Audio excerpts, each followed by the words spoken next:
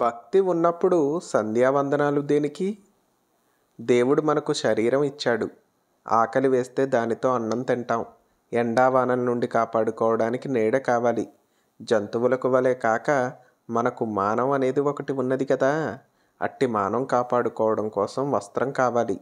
అన్నము వస్త్రము ఇల్లు ఈ మూడు ఒక త్రిపుటి. దీనిని సంపాదించుకోవడం కోసం ఒక ఉద్యోగం. ముందటి మూడు అక్కర్లేకపోతే మానవుడు పని ఏమీ చేయవలసిన అవసరం ఉండదు. ఈ మూడింటిని వదిలిపెట్టిన మనుషుడు పని ఏమీ చేయకుండా ఉన్నాడని తెలుస్తుంది. ఇప్పుడు కూడా అటువంటి జ్ఞానులు ఒకరిద్దరు ఉండవచ్చు. కానీ అది మనకు తెలియదు. ఒక పని చేయడం కానీ దానివల్ల కలుగవలసిన ఫలితం కానీ వారికి ఏమీ లేదు. ఏదైనా ఒక పని చేశాడంటే అతడు జ్ఞాని కాడు అని అర్థం. అన్నం కోసం ఇంటి కోసం బట్ట కోసం మనం సతతం యత్నించి సతతమైపోతూ ఉంటాం. సదా దుఃఖరహితులై ఆనందంగా ఉండాలంటే మనం చేసే ప్రతి పని ఈశ్వరార్పణం చేయాలి. ఈశ్వరానుగ్రహమే దొరికితే ఇక పనితో పని లేదు. ఆనందంగా ఉండవచ్చు. ఈశ్వరానుగ్రహం దొరకనంత వరకు ఈ మూడు కావాలంటే కావాలి. తల వెంట్రుకలన్ని పనులు బరువు నెత్తి మీద నుండి జారిపోదు. పనులను చక్కగాను చిత్తశుద్ధితోనూ ధర్మానుసారముగాను చేయవలెనంటే ఈశ్వరుని ఎడల భక్తి తప్పదు.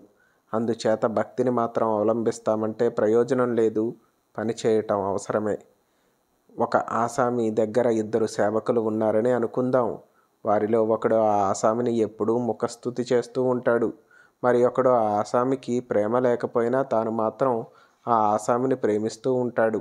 ఆసామి మూర్ఖుడైతే తన్నెప్పుడూ స్తోత్రం చేసే సేవకుణ్ణి ప్రేమిస్తుంటాడు.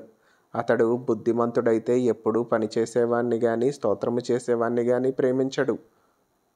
ఇది ఆసామి పని.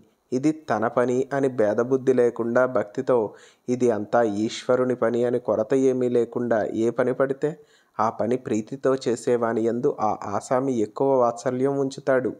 ఈశ్వరుడు కూడా అట్టి ఆసామే. సర్వజ్ఞుడైన అట్టి ఆసామిని స్తోత్రం చే మాత్రం చేసి తనివి నొందింపలేము. అతని ఆజ్ఞ శిరసావహింపక ఊరకే స్తోత్రం చేసినంత మాత్రాన అతడు సంతోషించి అనుగ్రహించడు. ఆయనకు కావలసిందేదీ లేదు. దానివల్ల ఆయనకు గౌరవము లేదు అగౌరవము లేదు. అట్లాగే మన కర్మల వల్ల కూడా ఆయనకు కావలసిందేదీ లేదు. విహితమైన కర్మాచరణం మన చిత్తశుద్ధి కోసమే.